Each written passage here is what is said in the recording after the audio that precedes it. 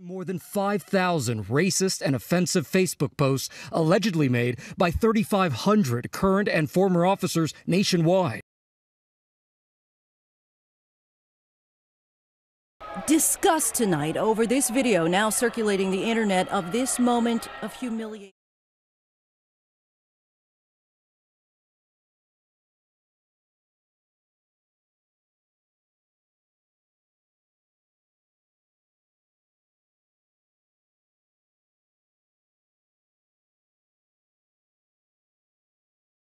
CBP says it's on track to apprehend 100,000 migrants this month, the most in 10 years. And more than ever, they're coming as families.